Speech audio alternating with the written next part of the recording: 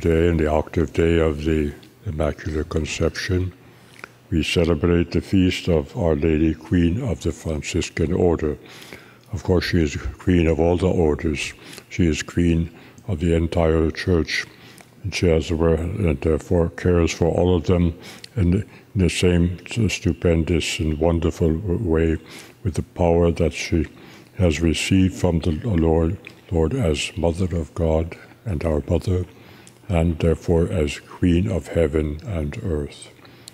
We have a hard time realizing what it means to be queen because we think of queen usually either as a, an ornament on the throne or as a, someone who happens to be one of a, who knows how many other politicians having in charge of the political arena. But this is something quite different.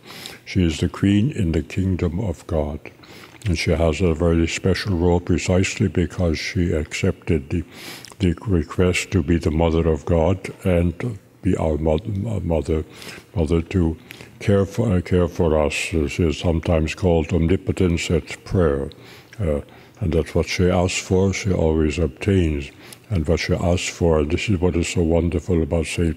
Francis's request, uh, uh, re, re, re, request the Lord that she be be his advocate, the advocate of all the friars, that they might serve the Lord, that they might walk in the footsteps of Jesus, that, uh, that they might always heed the guidance of our, our, our Lady. For indeed, she is a wonderful queen because she is so wonderful a mother and so powerful a mother to be able to do all those things that are accredited to her as the, as the uh, Uh, as the uh, maternal mediatrix, help us as, as it were to always to be faithful in serving our Lord as she serves them.